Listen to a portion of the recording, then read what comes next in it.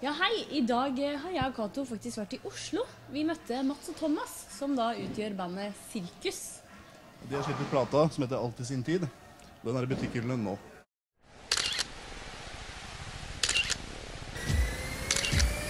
Na na na na na na. Na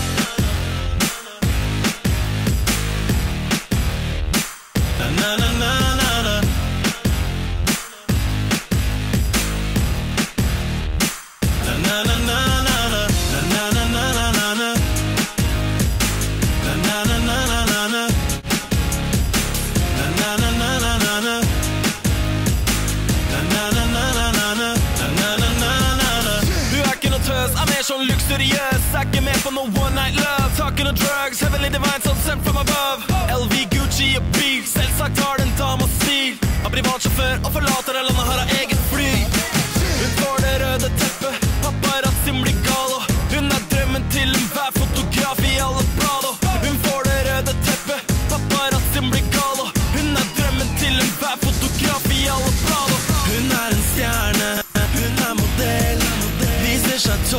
toppløs i FHM. Hun er en diva, er spesiell, tar av seg klærne Men hvordan møttes dere, da? Hvordan eh, Facebook. Facebook. Spotify. Altså, Tre det, ord og en overføring av en bit. ja, det, Så- det som eh, skjedde, var at eh, han skrev hei til meg på Facebook. Han var på vorspiel. Vi laga låta samme dag. Uh, sendte den inn til Kosmos. De svarte dagen etter. Torsdagen etter det så kom jeg inn på intervju, og da hilsa jeg på Thomas for første gang. Uh, så tok det to uker, så hadde vi platekontrakt.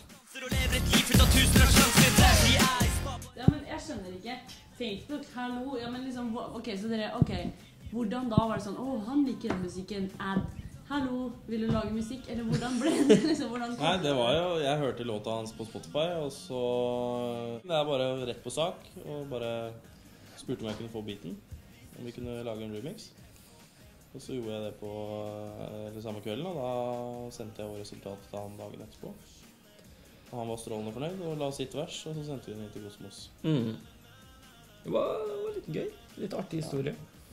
Hva er det dere drev med før dere begynte med musikk? da? Telefonsang for Ja. Netcom. Ja, jeg har jo jobba til Vestfold, da. Woo! Yeah! Hun bare synger med meg. Hun er en stjerne, hun er modell. Ja, Vi har faktisk et par spørsmål til deg som gutta har skrevet selv. Er du klar for å svare? Så ruller vi. Ok.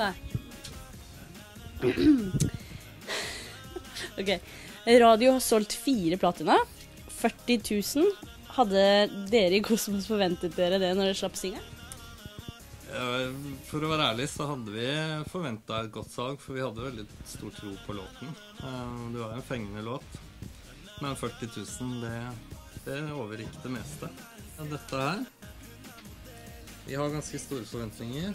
Eh, Det er klart det når du har hatt en singel som er eh, av det kaliberet, så er det klart vi har forventninger.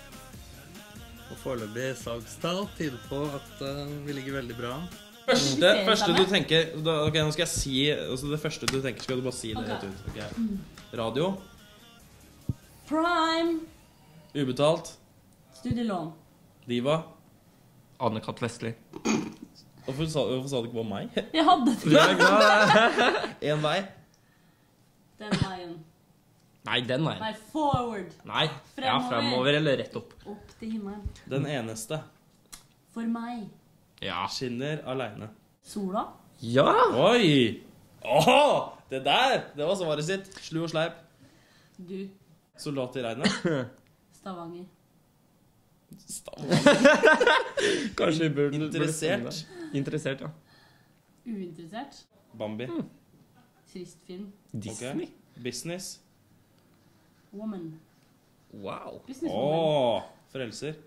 Jesus. Ja, da har gutta i Sirkus laget en liten konkurranse til dere. Så da kan dere sende deres bidrag til eh, den eh, e-postadressen her.